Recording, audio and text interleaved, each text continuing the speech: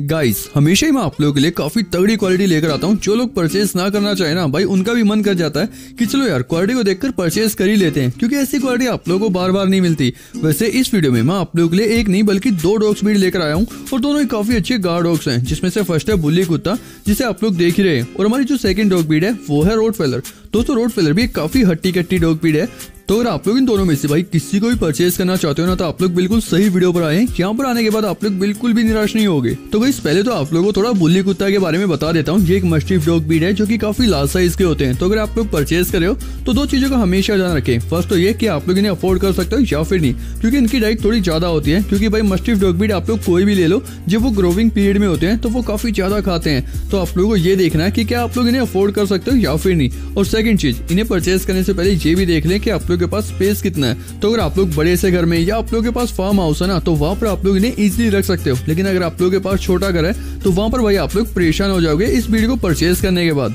तो भाई पपीज जो है, ये काफ़ी अच्छी क्वालिटी में है, काफ़ी हैवी बोन भी है, और भाई फोर हेड पर और फेस पर आप लोग को रिंकल्स भी दिख रहे होंगे। और यही पहचान होती है एक अच्छी क्वालिटी के बुल्ली कुत्ता की। तो इस बुल्ली कुत्ता बहुत ही समझदार डॉग ब्रीड है, काफ़ी अच्छे गार्ड डॉग्स होते हैं और फैमिलीज़ के लिए काफ़ी प्रोटेक्टिव भी। तो दोस्तों पपीज की क्वालिटी में नो डाउट आप लोगों को कोई भी कंप्लेंट नहीं आएगी, क्योंकि पपीज सच में काफ़ी अच्छी क्वालिटी के हैं। तो अगर आप लोग इन्हें परचेज करने के लिए इंटरेस्टेड हैं तो आप लोगों को बता दूँ कि पपीज जो हैं, ये अलग अलग एज के हैं। तो 35 डेज़ के पपीज आप लोग इनके पास से उठा सकते हैं। तो उन्हें जो इनके प्राइस की डिमांड की है, वो मेल की है ट्वेंटी थाउज़ेंड पीस बीस हज़ार रुपए एंड फीमेल की है ट्वेल्व थाउज़ेंड पीस यानी बारह हज़ार रुपए। लेकिन ये जो प्राइस है ना, ये स्टार्टिंग है। इससे ऊपर के पीस आप लोग ले सकते हैं। वो डिपेंड करता है क्वालिटी के ऊपर।